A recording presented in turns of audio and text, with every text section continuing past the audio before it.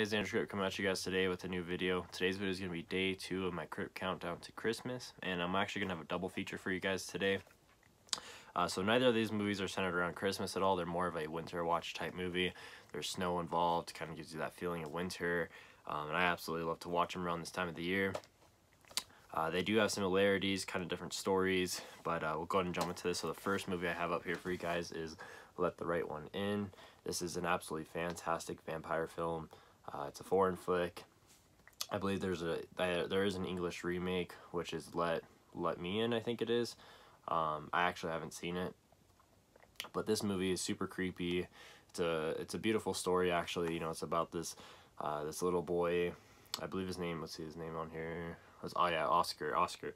Uh, Oscar ends up befriending a, uh, a little girl named Eli and uh, kind of slowly discovers that she uh, is a vampire. And um, you know they kind of build this friendship with each other and he doesn't quite understand what she is.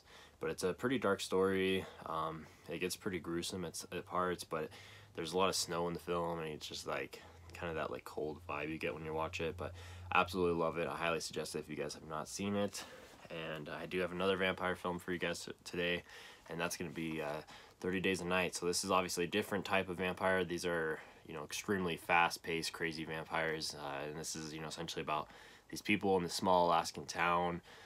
Uh, kind of gets taken over by vampires. And they're just trying to survive. Uh, but there's a ton of snow in this movie. And it's super brutal. Nice amount of kills in here. Um, I absolutely love it. It's been some time since I've watched this one, so I was definitely looking forward to giving it a watch this year. Like I said, definitely falls into that vibe of the winter, uh, winter watch kind of feel. Um, so yeah, got that. What that is today's pick, guys, is a double feature of vampire flicks. We got Let the Right One In and 30 Days of Night. Both absolutely great films. If you guys have not seen them, I highly suggest that you go check them out. Um, perfect for this time of the year if you if you like snow. Um, but yeah, thank you guys so much for watching. Make sure you guys stay tuned for tomorrow's video, and I will see you guys in the next one.